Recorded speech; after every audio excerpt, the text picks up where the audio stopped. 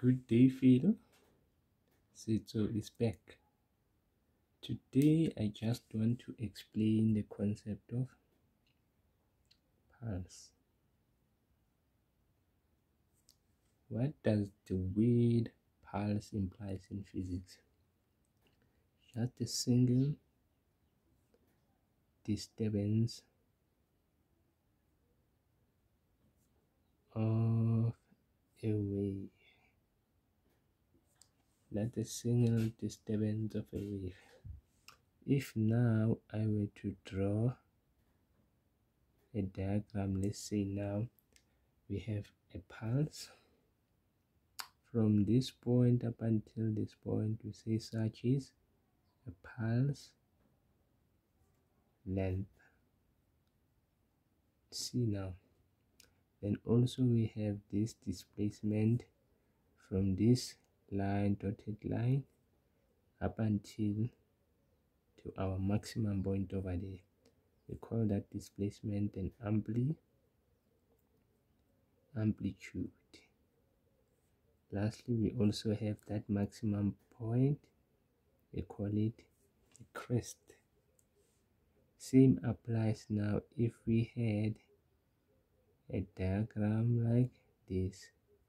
This distance from here till here will be pulse length and also this displacement will be an amplitude.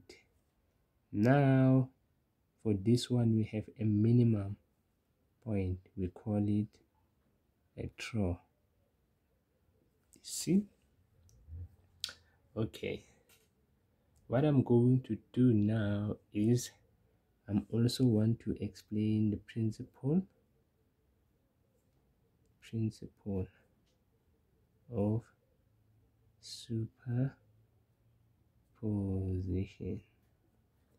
Have you ever came across this principle in your life? I bet you do. It states the total or let me just say the sum of individual the sum of individual this displacement when two or let me just say when waves meet see? Let me just explain this concept using a diagram. Suppose if we have see, a diagram which is like this. Somehow we have an amplitude let us call it a. Suppose these two amplitude they are identical and we also have a then of which now they approach they approach each other. Up until now they reach this point which is x. What is going to happen when these two with which are in phase meet at this point x see what is going to happen. When they approach each other up until they reach this point x what is going to happen? They will add up now forming a larger wave. You see? They will form a large wave or large pulse. Somehow we are going to get the situation now at x. You see at x whereby we have a plus a which is equals to 2a you see now the situation have changed. At x we get a situation whereby now we add these two waves they form what? A larger wave which is 2a then now let's see if we had a situation now like this.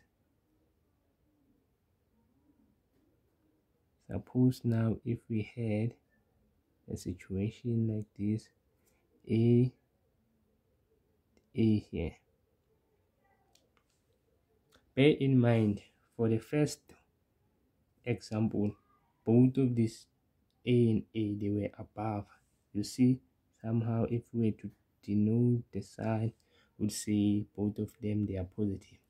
Now we have a situation whereby one A is positive the other one is negative.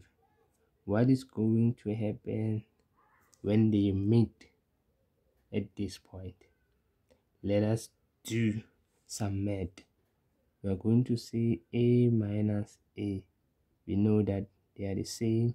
A plus minus a we are going to get 0 you see they will cancel each other. It's like now at this point when they meet we are going to get something like this. You see? We are going to get something like this. They will cancel each other. See? Now since i've explained this concept of principle of superposition now let us consider these two interferences. Let me erase.